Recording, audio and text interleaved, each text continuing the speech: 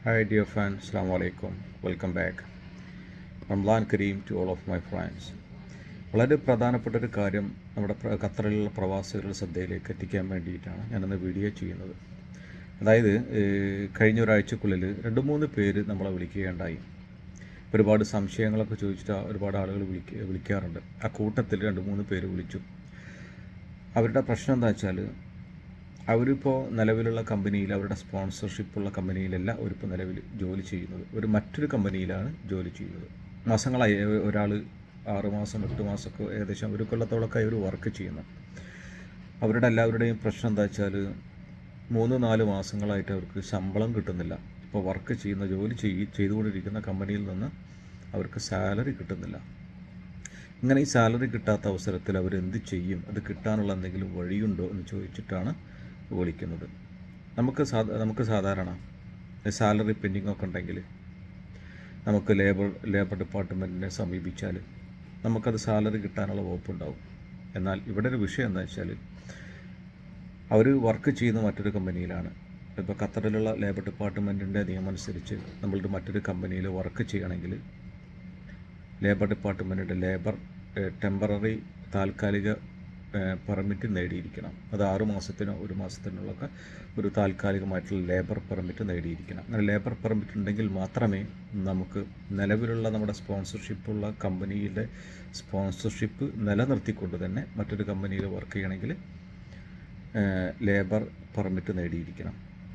ഈ വിളിച്ച ആളുകൾക്കൊന്നും labour permit ഇല്ല. അവർ അവർക്കൊരു ഏതെങ്കിലും ഏതോ ഒരു കമ്പനിയിൽ അവർ അവരുടെ വാക്കാലോ അല്ലെങ്കിൽ ഫോണിലൂടെയൊക്കെ സംസാരിച്ചിട്ടുള്ള ഒരു വെർബൽ ഒരു എഗ്രിമെന്റിൽ അവർ വർക്ക് ചെയ്തുകൊണ്ടിരിക്കുകയാണ്. ഒരു തെളിവുമില്ല അവരവിടെ വർക്ക് ചെയ്യുന്നു എന്നുള്ളതിന്. ഈ ഒരു പ്രശ്നത്തിന്റെ ഇത് ഫലം എന്താ വെച്ചാൽ ഇതുപോലെയുള്ള സാലറി ഒക്കെ പെൻഡിങ് വരുന്ന അവസരത്തിൽ അവർക്ക് ലേബർ ഡിപ്പാർട്ട്മെന്റിനെ സമീപിക്കാനുള്ള ഒരു വോയിസ് ഉണ്ടാവില്ല ഒരു റൈറ്റ്സും ഉണ്ടാകില്ല കാരണം അത് ഇല്ലീഗലാണ് ഒരു ലീഗൽ ഡോക്യുമെൻസും ഇല്ലാതെ മറ്റൊരു കമ്പനിയിൽ വർക്ക് ചെയ്യുക എന്നുള്ളത് ഒരു തൊഴിലാളിയെ സംബന്ധിച്ചിടത്തോളവും പിന്നെ ആ വർക്ക് ജോലി കൊടുത്ത കമ്പനിയെ സംബന്ധിച്ചിടത്തോളവും അവരുടെ സ്പോൺസർഷിപ്പുള്ള കമ്പനിയെ സംബന്ധിച്ചിടത്തോളവും അത് പ്രശ്നമാണ്. അത് ഇല്ലീഗലാണ്. മൂന്ന് പേർക്കും. ജോലി ചെയ്യുന്ന തൊഴിലാളിക്കും പ്രശ്നമാണ്. ഫൈൻ ഉണ്ടാവും. പിടിക്കപ്പെട്ട് കഴിഞ്ഞാൽ. ജോലി കൊടുത്ത കമ്പനിക്കും ഫൈൻ ഉണ്ടാകും. പിടിക്കപ്പെട്ട് കഴിഞ്ഞാൽ. അതുപോലെ തന്നെ സ്പോൺസർഷിപ്പ് ഏത് കമ്പനിയിലാണ് അവിടെ റെസ്റ്റോറൻസ് പെർമിറ്റ് ഉള്ളത് ആ കമ്പനിക്കും ബുദ്ധിമുട്ടുണ്ട്. ലീഗലായി പ്രശ്നങ്ങളുണ്ടാകും. അത് ഇല്ലീഗൽ വർക്കിംഗ് ആണത് ഓക്കെ അതുകൊണ്ട് പ്രത്യേകം ശ്രദ്ധിക്കുക.